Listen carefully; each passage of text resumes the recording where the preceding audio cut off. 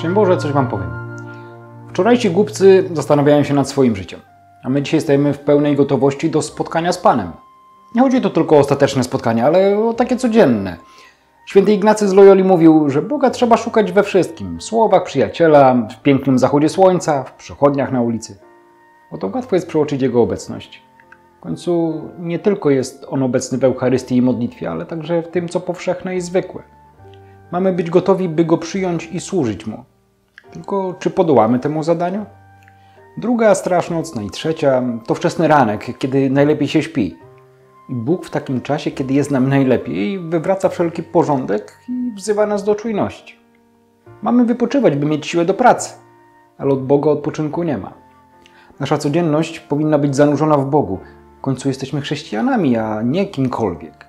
Chcielibyśmy ulec światu, który nas nęci na różne sposoby, lecz tylko Jezus wskazuje właściwą drogę.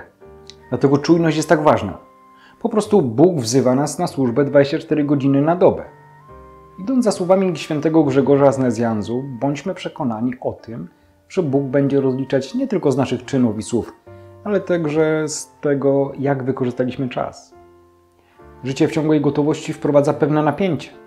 Nie chodzi o jednak sztuczne wprowadzanie stanu niepewności, ale o bycie dyspozycyjnym, by dostosować się do każdej sytuacji życiowej. Takim życiem potwierdzamy, że akceptujemy to, co Bóg dla nas zaplanował i Jego wolę względem nas.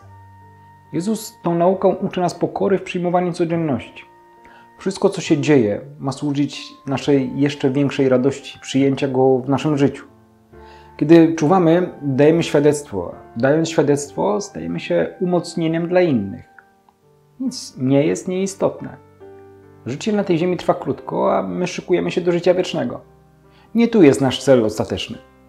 Kiedy Jezus mówi o nocy, to pokazuje nam, że wszystko już zostało powiedziane. Noc to stan, kiedy człowiek nie zna prawdy. Ta jest opisana w Piśmie Świętym.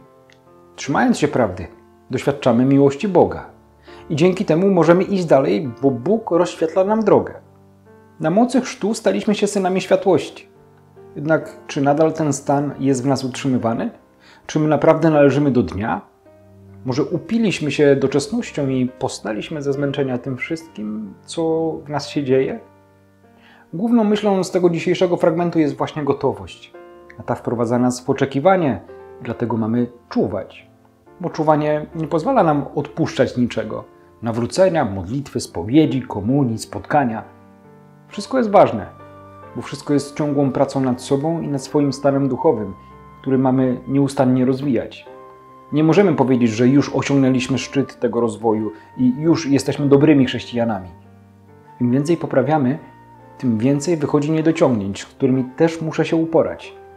Skoro zbliżamy się do światła, tym więcej widzimy szczegółów, które nie pozwalają usiąść bezczynnie. Wszak nie wiemy, kiedy Pan z uczty weselnej powróci, aby mu zaraz otworzyć, gdy nadejdzie i zakołaczy. Także czuwajmy i bądźmy gotowi. Niech Pan Wam błogosławi w imię Ojca i Syna i Ducha Świętego. Amen. Z Panem Bogiem.